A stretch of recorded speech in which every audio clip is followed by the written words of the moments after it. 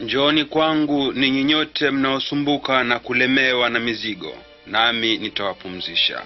Mimi ndimi njia, ukweli na uzima. Hakuna awezaye kwenda kwa Baba ila kwa kupitia kwangu.